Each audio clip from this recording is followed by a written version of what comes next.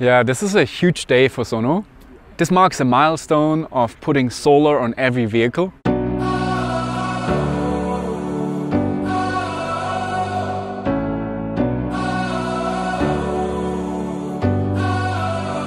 Insgesamt ist es natürlich spannend, dass unsere MVG und unser Verkehrsunternehmen hier jetzt zusammenarbeitet mit einem ja, expliziten Münchner Unternehmen, ähm, das ja auch schon lange kein Startup mehr ist, aber mal eins war und das ich schon persönlich sehr lange begleite und das ich eben kenne als wirklich hochtechnologisches Vorzeigeunternehmen. Und ich glaube, diese Kombination die ist so spannend und deswegen haben wir als Landeshauptstadt ja das Projekt auch zu 100 Prozent gefördert, damit wir hier die besten Synergieeffekte erzielen können.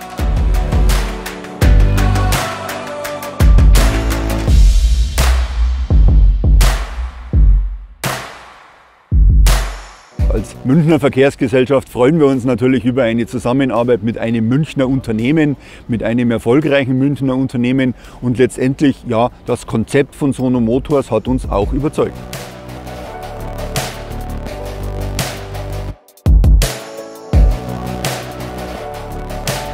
Twenty solar modules, semi-flexible, still with glass on top.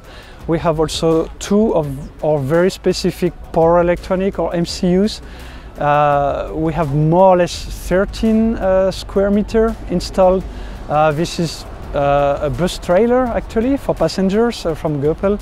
Uh, and yeah, this is what we get on this bus and this technology with obviously a TÜV approval because we need to drive this vehicle on the street. 2,000 tons of CO2 we could save per year with this solution. And that's exactly what we want to do. We're on a mission putting solar on every vehicle to achieve our vision of a world without fossil fuels. Gerade auch die nächsten zehn Jahre wird hier der Bus im Bereich der Landeshauptstadt München eine ganz, ganz besondere Rolle letztendlich spielen, gerade auch im Rahmen der Elektrifizierung. Alle Projekte zahlen auf das Hauptziel, nämlich eine gute Verkehrswende gestalten zu können, ein.